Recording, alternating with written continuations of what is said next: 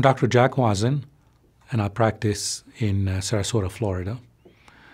I've been um, working with the Baha system for more than 30 years now. Um, done a lot of research in the field and uh, have a large experience in uh, clinical work.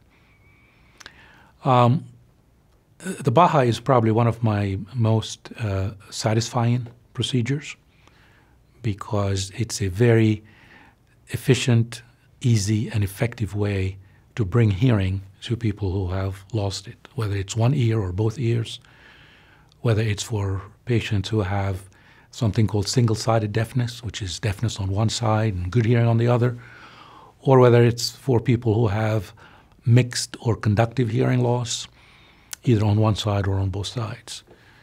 So there are different applications.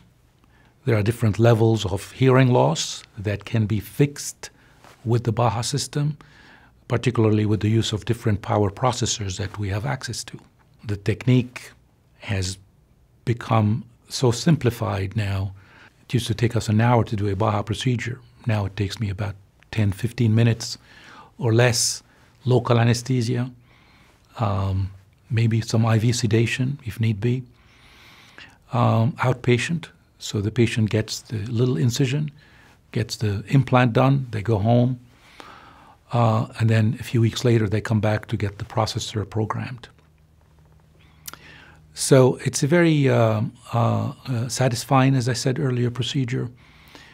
And, and the most uh, impressive part of my uh, talking to my patients about the Baha is the fact that we could test the Baha system on a patient before it's implanted, which is unusual for other implants.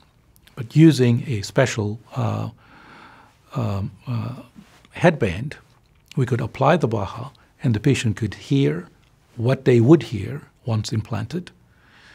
We tell them it would be better if and when it's implanted, but at least they have a good idea about what, what they're going to experience.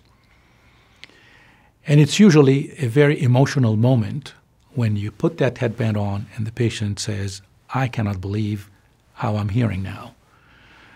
And it doesn't take much convincing for them to say, okay, let's, let's go ahead and do this.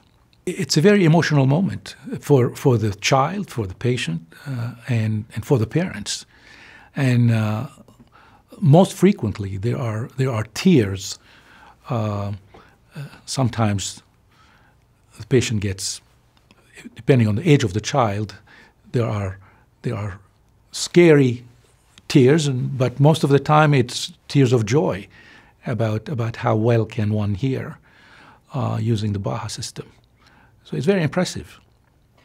I, I think the probably the most important thing is is education of the physicians, the audiologists, the hearing aid dispensers, uh, and the public, the patients, in the availability of this technology.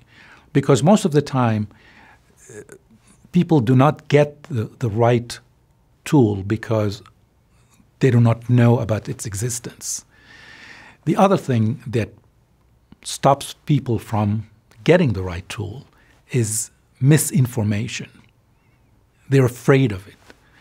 Uh, you tell them we're going to put the Baha, they're like, oh, you're going to put a screw in my head? So, so these are things that scare people.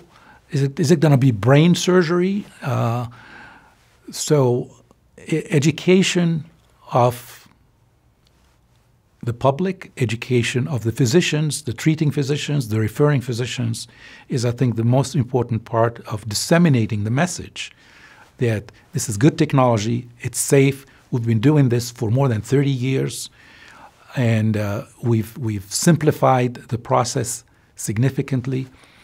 Um, and uh, you know, it's, it's really a no-brainer to suggest such a solution to people who need it.